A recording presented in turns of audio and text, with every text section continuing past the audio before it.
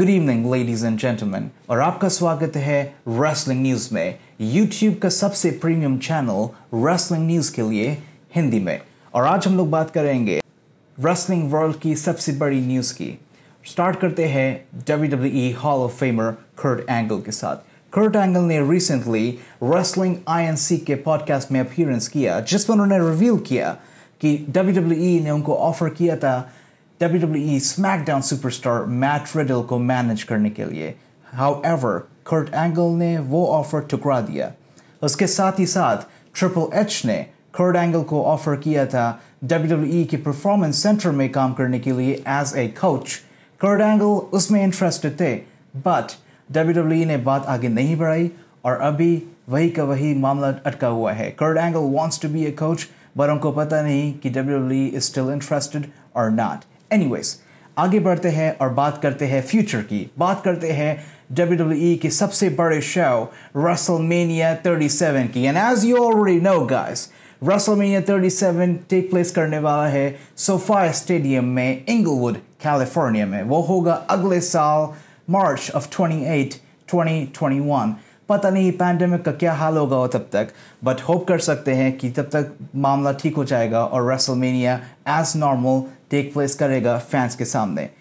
Well well, का तो पता नहीं बट रेसलमेनिया के दूसरे शोज़ जो उसी हफ़्ते में होते हैं जैसे कि Friday night SmackDown take over और WWE Raw उनका सिलसिला अभी थोड़ा इधर उधर है। We are not very sure what's gonna happen and that is because एक न्यू एक म्यूज़िक शो है एक म्यूज़िक टीम है जिनका की नाम है ग्रुपो फर्मा उन्होंने अनाउंस किया है अगस्त में कि वो स्टेपल सेंटर में शो करने वाले हैं। और वो शो ठीक उसी दिन हो रहे हैं सैटरडे और फ्राइडे को, जिस दिन फ्राइडे नाइट स्मैकडाउन और NXT take over take place करने वाला है रेसलमेनिया वीक में स्टेपल सेंटर में। दोनों शोज़ का एक ही वेन्यू है, जो कि है स्टेपल सेंटर तो क्या डब्ल्यू मूव आउट करेगा स्टेपल सेंटर में? क्या वो म्यूजिकल ग्रुप मूव आउट करेगा वो हम लोग को नहीं पता but as of now there is a conflict in venue in arrangements when it comes to these two shows. So क्या होगा? We will find out. Move. Let's move on to the women's tag team championship, क्योंकि Clash of Champions अभी आ ही गया है, बस आने ही वाला है, और बात करते हैं विमेंस की टैग टीम टाइटल मैच का, जो कि होगा नाया जैक्स और शाइना ब्लास्लर जो कि है विमेन की टैग टीम चैंपियन वो लोग डिफेंड करने वाले हैं अपनी championship Riott Squad Liv Morgan और रूबी राइट के साथ।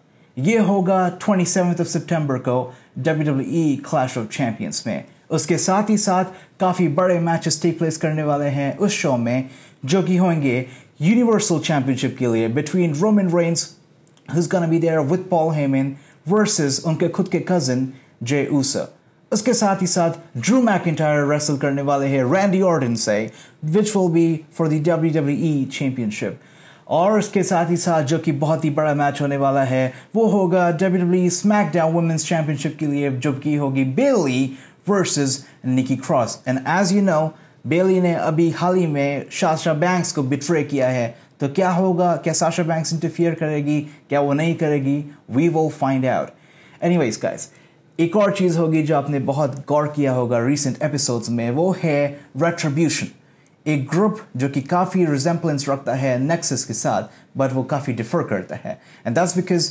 Nexus one they use to come out वो आते थे bright you know bright yellow T shirts में एन के साथ वो अपना बताते थे कि हाँ we are Nexus but Retribution comes out all masked all black you know they're not showing their faces हम लोग को पता नहीं कि रेट्रीब्यूशन आखिर है कौन.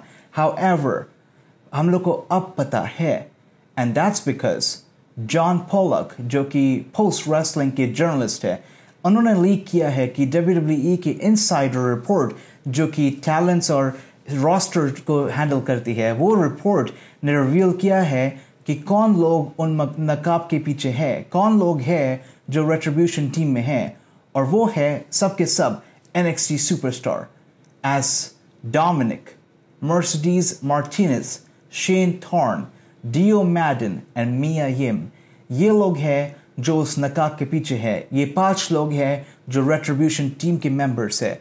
हम लोग को अभी रिवील नहीं किया गया है but soon sooner or later I would say almost Survivor Series के आसपास ये आशंका है कि हम लोग को पता चलेगा ऑफिशियली उन नकाब के पीछे कौन है। But as of now these are the five NXT superstars जो कि इस नकाब के पीछे हो सकते हैं। Well these were the biggest news stories of the day as of now और हम लोग वापस आएँगे और न्यूज़ स्टोरीज के साथ।